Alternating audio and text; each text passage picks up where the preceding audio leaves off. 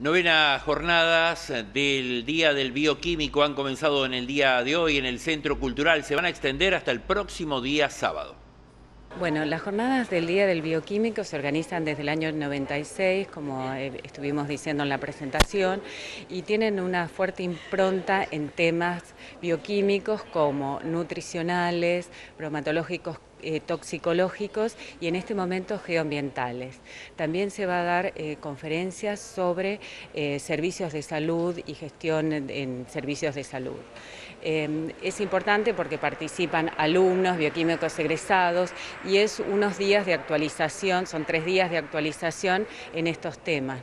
estas jornadas se hacen cada dos años y mm, bueno, ya tienen más de 20 años, lo cual indica este, un equipo que participa en la producción y elaboración de las mismas. El bioquímico participa, es indispensable ya que más del 70% de los tratamientos y diagnósticos son hechos por bioquímicos en distintas áreas y se ha ido eh, complejizando y a su vez especializando en distintos campos.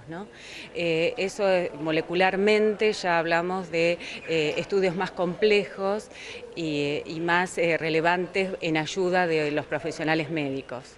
la charla que yo doy es el día sábado por la mañana, es relacionada a una metodología que es la aplicación de la citometría de flujo en diferentes áreas eh, muy importantes porque pueden ser utilizadas tanto para la investigación como para la parte clínica básica. Eh, bueno, vamos a hablar un poquito de todo eso, en qué se puede utilizar y cómo es la metodología.